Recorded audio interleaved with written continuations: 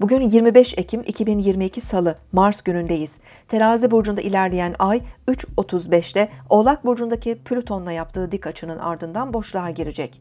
Yeni ay öncesinde bu saatleri ruhsal derinleşme, içe yönelişler ve tefekkürle geçirmekte fayda var.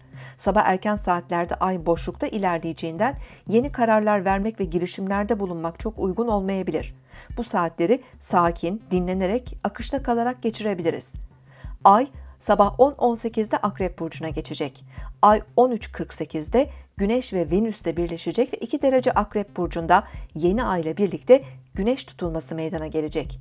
Yılın ikinci Güneş tutulması güçlü bir yeni ay niteliği taşır ve önümüzdeki 6 ayı da önemli ölçüde şekillendirebilir. Akrep su elementinin sabit nitelikli burcudur. Sonbahar mevsiminin tüm özellikleri de iyice görünür hale gelebilir.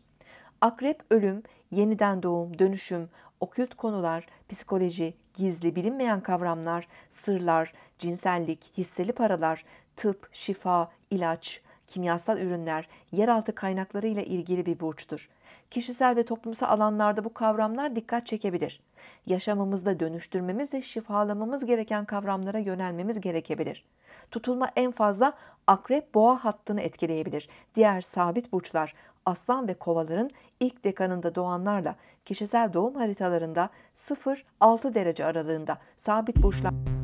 Siz de şimdi kanalımıza abone olun, yorumlar bölümüne sorularınızı yazın, sürprizlerimizden haberdar olun.